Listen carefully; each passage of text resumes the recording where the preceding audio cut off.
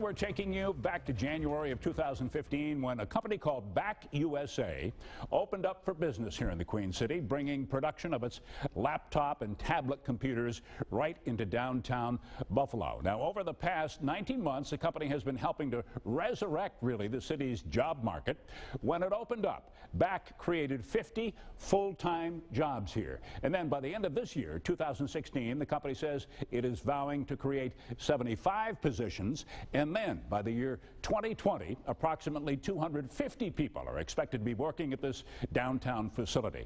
Today, 7 Eyewitness News reporter Justin Moore got a first-hand look at what lies ahead now for this brand new high-tech company.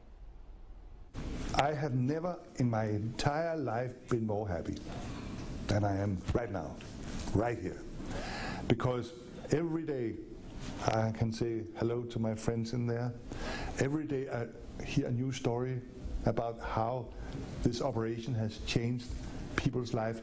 JP Bak isn't your typical CEO. Instead of a corner office, he sits among his staff here at Bak USA headquarters in Buffalo. The family-owned tablet company is giving a boost to local manufacturing. We don't believe that we can bring jobs back from China.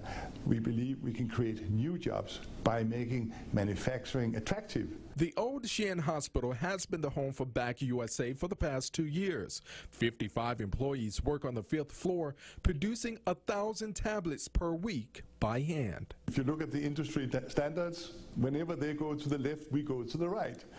Uh, they have assembly lines, we are handmade. Because of the boost in demand for Bak products, the company is expanding to the fourth floor and basement of the building, adding more production space and administration room. We have some very big uh, customers in, in pipeline where we have to scale up the production. In the next five to 10 years, the company is expected to have smaller locations in several states, including Texas and Pennsylvania. Bak says his company continues to grow because he makes it attractive to young people like Ahmed Ali. It is like hands-on work and you get a chance to open and, and, and, and build like tablet, start from beginning and end. It's actually like big accomplishment like for me. And we have seen that in the clean room here, how a lot of the young kids change and, and become responsible and happy. In Buffalo, Justin Moore, 7 Eyewitness News.